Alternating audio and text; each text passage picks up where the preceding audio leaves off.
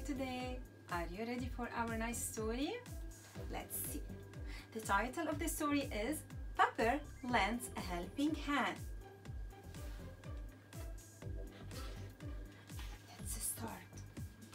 Hey, don't do that, chum. Someone might slip on the peel. Oh, let them. It'll be fun to watch. Think this is nice? Do you do this? Do you, do you throw things on the ground? Look what happened. oh no! Look what you've done! Here, let me help you. Up. Oh, thanks! Look, he's crying.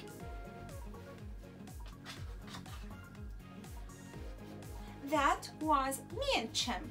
That was me. Oh, don't be such a bore. Meow, meow. What do you think is going to happen now? Do you think he's going to help the cat? Oh, oh, let me help you.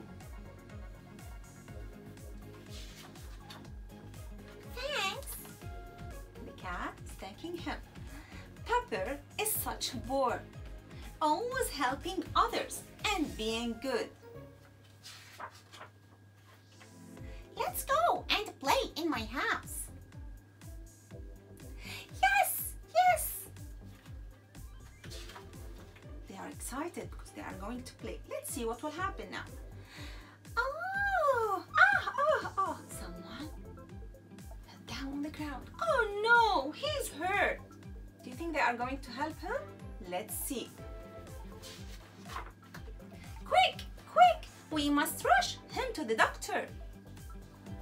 They are all running, taking him to the doctor.